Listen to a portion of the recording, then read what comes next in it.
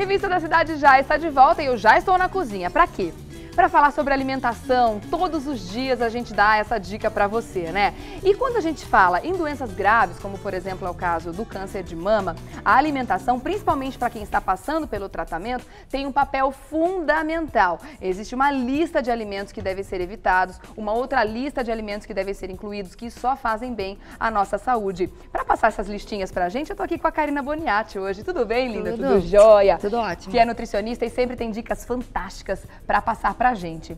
Olha, eu tô vendo que hoje tem uma variedade bacana de alimentos aqui, quer dizer, as Sim. pessoas que, que querem evitar, que querem prevenir o câncer de mama e também as que estão passando pelo tratamento, Uhum. podem se servir à vontade de uma série de alimentos. Exatamente. Quais são as principais restrições que as pessoas devem fazer? Existem alguns alimentos que, inclusive, ajudam as nossas células passarem por essas transformações que podem levar ao câncer, então que eles devem ser completamente evitados. Talvez não totalmente, mas Uhum. a gente tem que ter um- uma visão um pouco diferente com relação a eles. Quais são eles? Que a gente deixou aqui, né, o cantinho, digamos, Nossa, o cantinho do mal, ele tá com o prato vermelho hoje, aquele assim, pé, pé, gritando, tipo, não coma. Alerta, tome Ah. cuidado.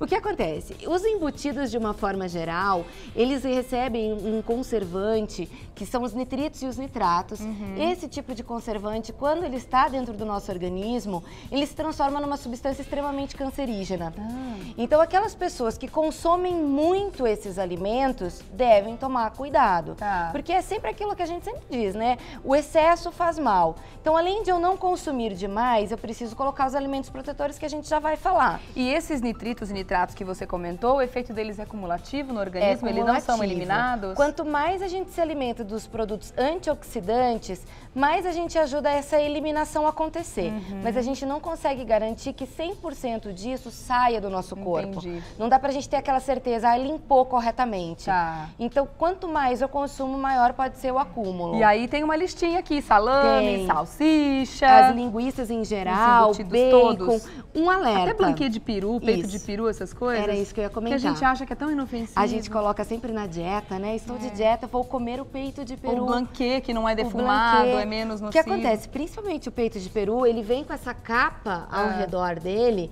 Isso é, é- é produzido a partir do processo de defumação. Tá. Todos os produtos defumados, eles recebem fumaça. Essa fumaça vem da queima da madeira. Uhum. E aí eu tenho uma substância chamada dioxina. Dioxina hoje é considerado um grande cancerígeno. Já bem documentado na ciência, né? Os, os cientistas estudam muito essa toxina e isso já é bem decretado. Principalmente porque a gente dá um alerta para o câncer de mama. Hum. Porque a glândula mamária, ela tem uma sensibilidade maior com algumas substâncias. A dioxina é uma dessas. Tá. Que ataca bem frequentemente a mama. Tá, então as pessoas que se alimentam de churrasco, de carnes grelhadas né, em grelhas, com o uso de carvão, com muita frequência, também tem que tomar Também esse tem cuidado. esse risco. Também tem esse então, o risco. ideal é o quê? Todas as vezes que eu for consumir um alimento que venha do churrasco ou que seja defumado, que eu tenha um verde junto. Porque os alimentos que, que têm essa coloração verde têm um potencial antioxidante bem alto. Tá. Então, a gente faz um, um balanço, um equilíbrio. Tá. Eu não vou deixar de comer o churrasco, mas não comê-lo sozinho. Tá. Colocar esses antioxidantes também. Então, mesmo o blanquê de peru que não vem com aquela casquinha da defumação, Ele tem- outras químicas, Ele tem tem nitrato, própria, essas coisas. tem também. Tem? Hum. E tem a própria dioxina, só que numa concentração menor. Quando eu tiro a casca, eu estou retirando a grande parte dessa substância. Tá. Mas não deixa de ter. Isso acaba entrando no alimento. Notícia braba, hein, gente? É. Bacon, linguicinha, Isso, tudo isso faz tudo parte isso da entra. mesma, mesmo caldeirão. E eu trouxe no caso a gelatina para a gente fazer um alerta com relação aos corantes. Hum. Os corantes são substâncias químicas que também agridem as nossas células.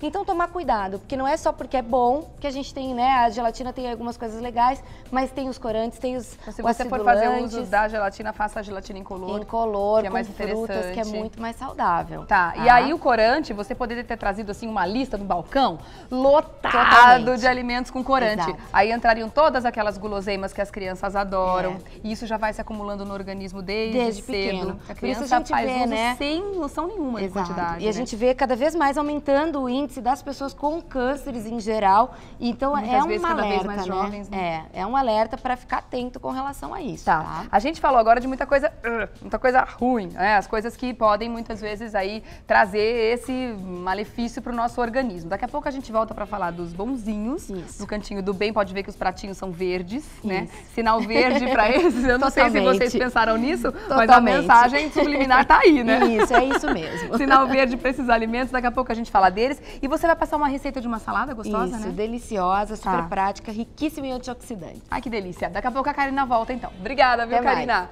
Vamos falar agora rapidamente dos alimentos que fazem muito bem. Quais são as principais substâncias que a gente deve colocar na nossa alimentação? Todos esses alimentos têm antioxidantes, trazem muitos benefícios para a saúde, protegendo as células. Tá. Se a gente for eleger um deles que não pode faltar, Qual? é o brócolis. É. O brócolis tem uma substância chamada glicosinolatos, que Uhum. cada vez mais tem estudos mostrando o potencial dessa substância na proteção da célula, para não deixar ela, ela, ela passar por um processo de oxidação.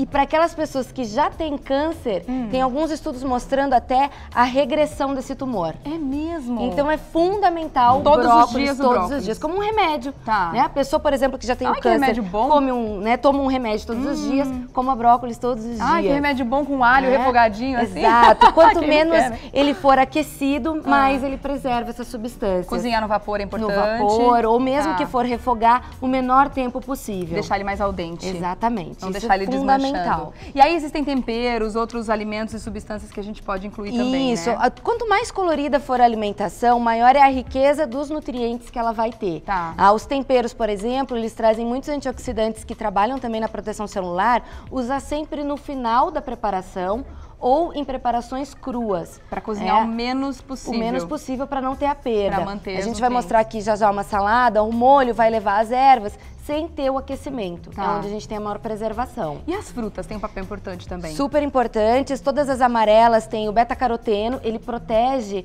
a degeneração do DNA, Uhum. quer dizer, o máximo da célula já vai estar protegida. Tá? no caso dos morangos, no caso das uvas, a gente de tem. um, pode? Pode, Ai, fica à vontade, já está higienizado, é orgânico, super saudável. Delícia! Também trabalhar com os Muito orgânicos, né? É tão importante. Essas substâncias que são adicionadas na- nas plantações, isso já vem, não é por fora. Isso está na irrigação, portanto Uhum. o alimento é constituído com essa, com essa química.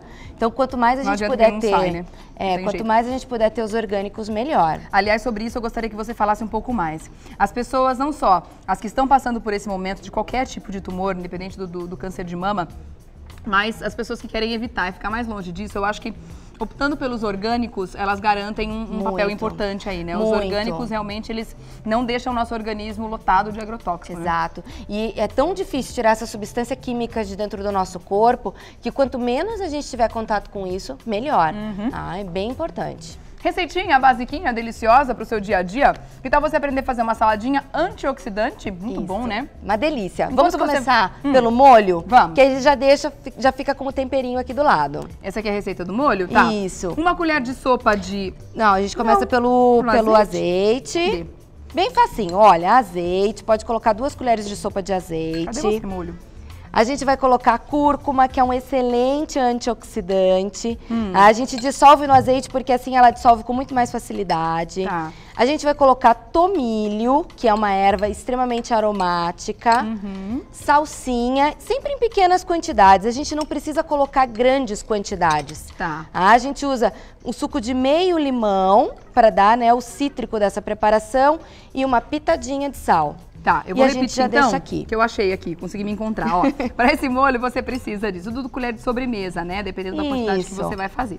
Uma colher de salsinha, uma colher de tomilho, cúrcuma, sal, aí o sal menos, né? Não é uma É, colher. uma, Azeite de oliva extra, virgem de preferência, e Isso. suco de meio limão. Exato. Tá pronto o nosso molho. Agora a gente vai misturar os demais ingredientes. Tá. Aqui a gente está usando a quinoa em grãos, ela já está cozida. Meia xícara de quinoa em grãos, mas a meia xícara da já cozida. Se você Já pegar meia cozida. xícara dela crua, vai render Isso, vai render mais, Tá. tá?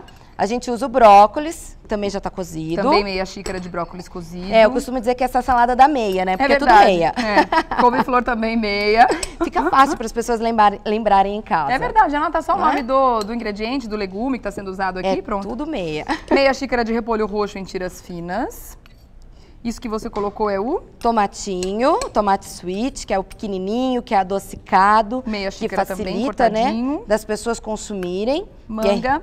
Riquíssimo em antioxidantes. A manga, porque a gente vai usar como base para essa salada o almeirão, que é Hum. mais amargo. Então aqui já vai dar o docinho. Tá, E a aveia, certo. tá? E Na aveia hora de uma colher de montar, sopa, tá? isso. Na hora de montar, o que, que a gente faz? A gente coloca um pouquinho desse molho aqui para temperar essa preparação Uhum. e para temperar o almeirão que a gente já cortou em tirinhas. Tá, também meia xícara Tá? de almeirão. Isso. O que, que a gente vai fazer? A gente vai pegar um prato. Hum. Aí, como é que a gente vai montar essa saladinha? Super fácil, super prática. A gente pega o almeirão, a gente coloca ele como base, ele já tá cortadinho. Uhum. E a gente coloca um pouquinho dessa salada. Que para vocês perceberem, né? Ela tá super colorida, Tá. né? Tá com todos os antioxidantes benéficos para a saúde. E a gente finaliza colocando algumas sementinhas de chia, que tem o ômega 3, que é super importante para a saúde. E vem mais um pouquinho aqui do nosso molho, que é o que vai dar o sabor para essa salada. As pessoas têm um pouco de dificuldade de comer salada muitas vezes, porque ela não tem muito sabor. Mas a gente usando o molho certo, a gente consegue dar o sabor e a pessoa vai aceitar melhor essa salada. Achei um espetáculo essa salada. Super simples. Super variada. Aqui É. você está garantindo uma quantidade de nutrientes tão grande, tão rica. Exatamente. Né? Então é, é muito importante que a gente lembre desses nutrientes Ah. ah, e, e mantenha eles no dia a dia da alimentação. Tá. A gente recomenda em torno de cinco porções por dia Uhum. de alimentos que envolvam legumes, hortaliças e frutas. Tá. A pessoa pode escolher cinco porções de algum desses alimentos. Tá certo. Então, Tá? independente do tipo de alimentos que você goste, ah, de repente, ah, não gosto do repolho, sei lá. Tem gente que, né, não tem essa. Tem algumas restrições aqui e ali. Elimine um ingrediente, mas inclua outro que Uhum. Inclua você gosta. outro. Faça esse tempero, né? Isso. Do, do que você E gosta. quanto com, mais variado, Com as dicas. maior o potencial antioxidante E dessa de alimentação. Preferência os orgânicos, Sim, sempre. sempre. né? Aliás, já fiz o convite, vou fazer de novo pra gente fazer uma pauta só, Só de, orgânicos. Tá combinadíssimo. Pra vamos gente falar sim. quais são aí as equivalências que a gente pode fazer, né? Já Isso. que não dá pra comprar tudo orgânico, É. porque realmente fica um pouco mais caro. Quais são os alimentos que têm mais concentração de Isso. de agrotóxico pra gente fazer essa compensação? Fundamental. Vamos falar sobre isso Fantástico. sim. Vamos sim, vamos combinar. Karina Boniati, nutricionista, muito obrigada Obrigada de a novo, você. viu? Até a Sempre adoro próxima. encontrar você aqui. Vou deixar um Obrigada. e-mail pra você fazer contato direto, carina@chefalacarte.com.br. carina@chefalacarte.com.br